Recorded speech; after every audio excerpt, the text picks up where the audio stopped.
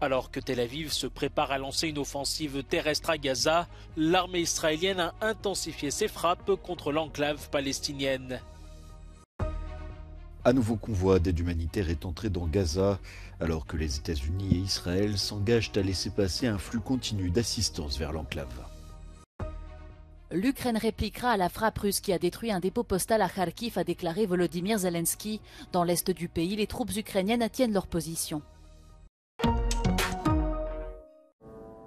Alors que Tel Aviv se prépare à lancer une offensive terrestre à Gaza, l'armée israélienne a intensifié dimanche ses frappes contre l'enclave. Selon le ministère de la Santé palestinien, les raids les plus meurtriers ont eu lieu à Deir al-Bala où 80 personnes, dont des femmes et des enfants, ont péri. Pour le ministre israélien de la Défense, cette guerre à Gaza doit être la dernière.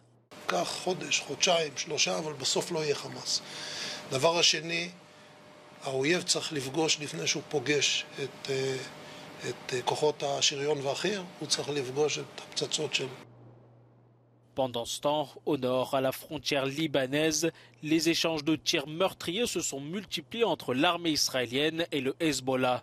Le Premier ministre israélien Benjamin Netanyahou a prévenu dimanche soir que le Hezbollah ferait l'erreur de sa vie en entrant en guerre contre Israël. De son côté, l'Iran a averti Washington et Tel Aviv que la situation pourrait devenir incontrôlable si les frappes contre Gaza ne prenaient pas fin. En réponse, les États-Unis ont mis en garde toute organisation au pays qui serait tentée d'élargir le conflit au Proche-Orient, affirmant que l'armée américaine n'hésiterait pas à agir si ses intérêts étaient visés.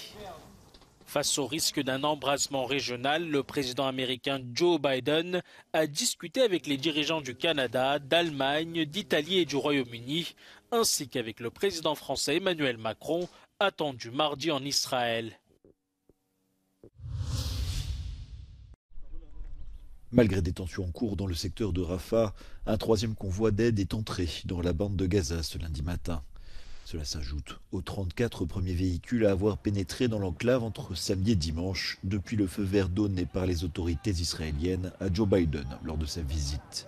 Martin Griffiths, le responsable des affaires humanitaires de l'ONU, a confirmé l'arrivée dimanche de 14 camions transportant de l'aide humanitaire, déclarant qu'il s'agissait d'une nouvelle petite lueur d'espoir pour les Palestiniens.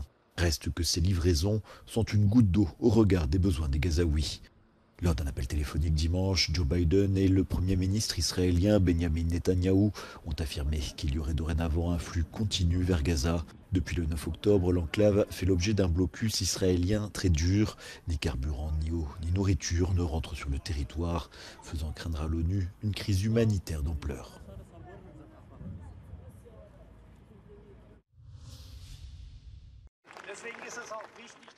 Les rassemblements en soutien à Israël et à la Palestine se multiplient en Europe. À Berlin, près de 10 000 personnes ont manifesté ce dimanche en soutien à Israël et contre l'antisémitisme. Les manifestants ont également appelé à la libération immédiate des otages retenus par les militants du Hamas. Ich bin heute hier, um ein Zeichen zu setzen äh, gegen Antisemitismus, gegen Israel-Hass und für die Diversität von jüdischem Leben in Deutschland und überall. À Paris, 300 personnes ont également exigé la libération des otages, en dressant une longue table avec des dizaines de chaises vides symbolisant les disparus. Des rassemblements en soutien du peuple palestinien ont également eu lieu. À Bruxelles, une marche pour exiger la fin du génocide a rassemblé 40 000 personnes selon les organisateurs. Les manifestants ont appelé à un cessez-le-feu et à la fin de la crise humanitaire à Gaza.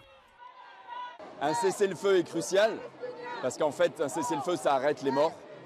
Après, on peut parler des solutions, de ce qui se passe après, mais au jour d'aujourd'hui, on doit arrêter euh, une crise humanitaire à Gaza, on doit arrêter les bombardements israéliens des hôpitaux, on doit arrêter euh, le, déplacement de plus de centaines de milliers de Palestiniens vers le, sud de Gaza, où d'ailleurs ils ne sont pas protégés non plus, ça a été prouvé dans les derniers jours. Donc voilà, aujourd'hui on appelle déjà à l'urgence un cessez-le-feu. En Autriche aussi, plusieurs marches pour la paix à Gaza ont été organisées, ainsi que des veillées à la mémoire des victimes des deux camps.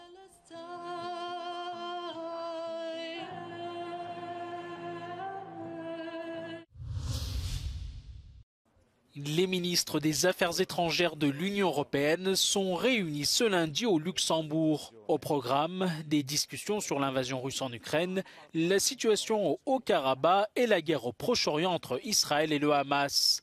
Lors de son arrivée à la Réunion, le chef de la diplomatie européenne, Joseph Borrell, a affirmé que la question d'un cessez-le-feu humanitaire dans la bande de Gaza serait débattue aujourd'hui. Samedi, lors du sommet pour la paix au Caire, le patron de l'ONU avait réclamé un cessez-le-feu humanitaire pour sauver les civils à Gaza. L'Ukraine répliquera à la frappe qui a détruit un dépôt postal de la Nova Pochta et fait 6 morts et 17 blessés à Kharkiv, a déclaré Volodymyr Zelensky dans son allocution quotidienne. Selon les autorités régionales, les missiles tirés sur le bâtiment seraient des S-300, utilisés massivement par les troupes russes. Рятувальна операція завершилась. Необхідна допомога надана усім постраждалим загалом їх 17. Шість людей вбиті цим ударом. Мої співчуття рідним та близьким загиблих. Ми обов'язково відповімо Росії на кожен прояв її терору і на цей удар також. Les rescapés âgés de 19 à 42 ans ont été blessés par des éclats d'obus et le souffle de l'explosion. Certains des hospitalisés sont dans un état critique.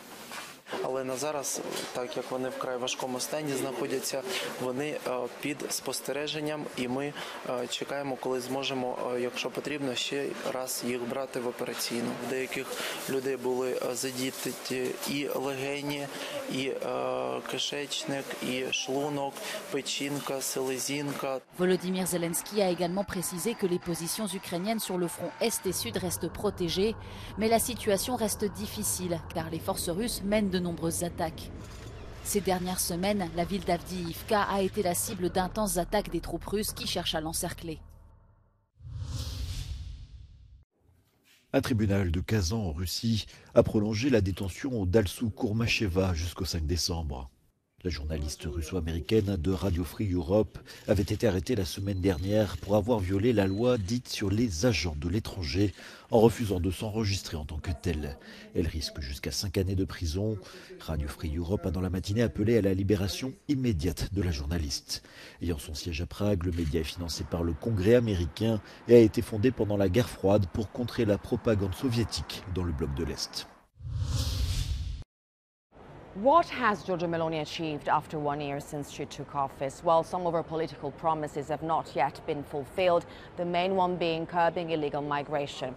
In a recent interview, she admitted it herself, saying, quote, that the results were not what we hoped to see.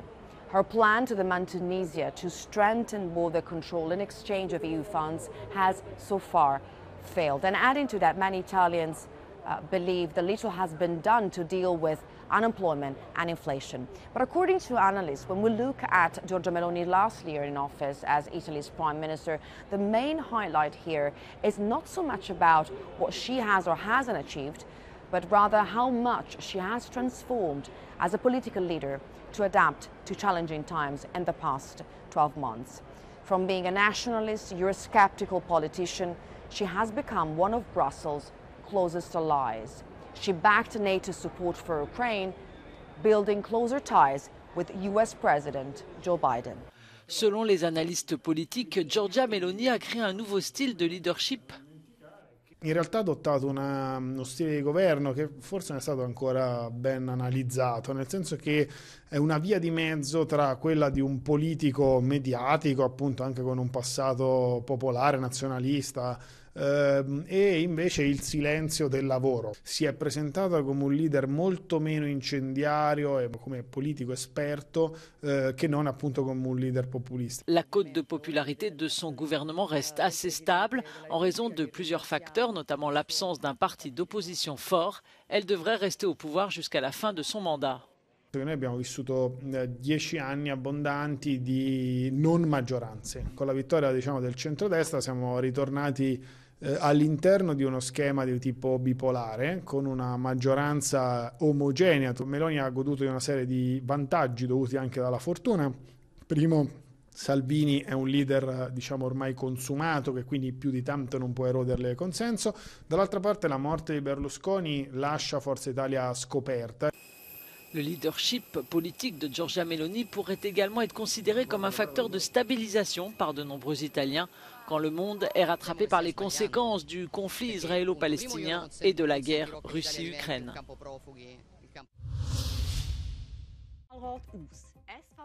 En Suisse, le parti de droite populiste UDC remporte largement les élections législatives avec 29,2% des voix selon les premières projections.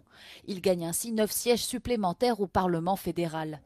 Les Verts ont quant à eux connu leur plus grand échec électoral en passant sous la barre des 10%. Le Parti socialiste suisse arrive en deuxième position avec 18% des voix et deux sièges de plus qu'en 2019, suivi par les chrétiens démocrates de l'Alliance du Centre et les libéraux du Parti radical libéral avec 14% des voix chacun.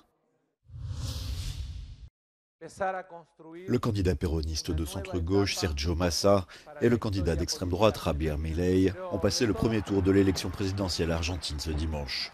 Le ministre de l'économie l'a emporté à la surprise générale avec un peu plus de 36% des voix. Face à lui, celui qui avait promis de réformer radicalement l'État plafonne à 30% des suffrages. L'ancienne ministre de l'Intérieur, Patricia Bullrich, candidate de la principale coalition d'opposition, est loin derrière Massa et Milei en troisième position. Les deux candidats s'affronteront lors d'un second tour le 19 novembre prochain. Salman Rushdie a plaidé en faveur d'un soutien inconditionnel à la liberté d'expression lors de la remise d'un prestigieux prix allemand. L'auteur américano-britannique a dénoncé l'époque actuelle où, selon lui, la liberté d'expression est attaquée de toutes parts, y compris de la part de voix autoritaires et populistes. Dimanche à Francfort, Salman Rushdie a été honoré du prix de la paix des libraires allemands pour avoir continué à écrire malgré des décennies de menaces et de violences.